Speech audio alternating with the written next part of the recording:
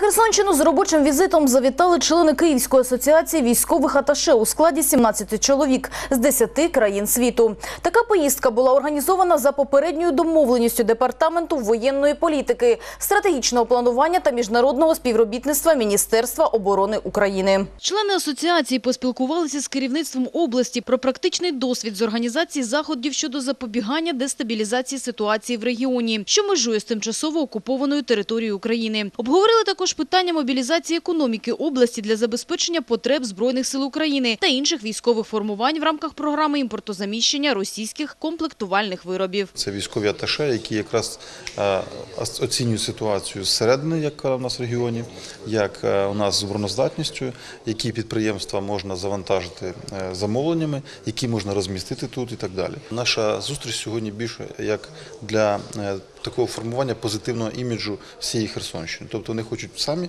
пересвідчитися в тому, що дійсно Херсонщина це територія миру, безпеки, і тут є е, свідомі люди, які хочуть е, жити в Херсоні як в Україні. Також учасники делегації дізналися про допомогу військовим, що перебувають в зоні АТО, та про проведення для них реабілітаційних заходів, та про те, що ведеться серйозна робота з покращення обороноздатності області. За рахунок коштів обласної державної адміністрації облаштовуються військові позиції, удосконалюється їх матеріально-технічна база. А починаючи з 2016 року вже розпочато роботу зі створення п'яти військових загонів постійного базування. До нас дуже великий інтерес е, наразу з країн НАТО, і ми бачимо ці дуже велику активність е, стран НАТО в Україні. І ми робимо все для того, щоб максимально швидко інтегруватися до тих стандартів НАТО, Е, тому що ми е, розуміємо наразі вже немає сумнівів, що колективна безпека сьогодні це пріоритет для України.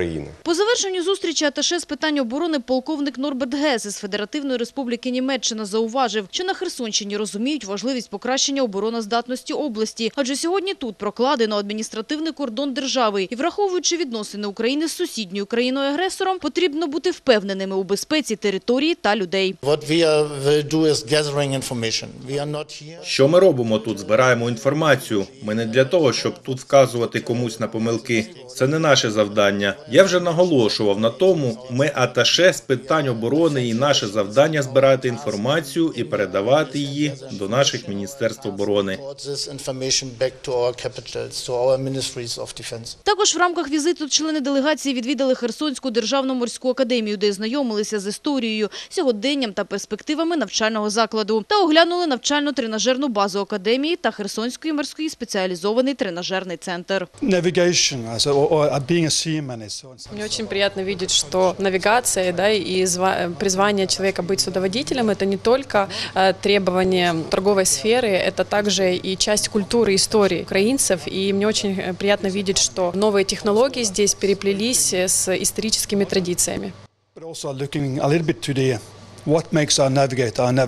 И Я удивлен, э, узнав, э, как, как- какой уровень технологий у вас есть в вашей академии. И мне кажется, что вы достигаете успеха со стороны ам, соединения вашей системы образования и тех си- систем образования международного э, общества.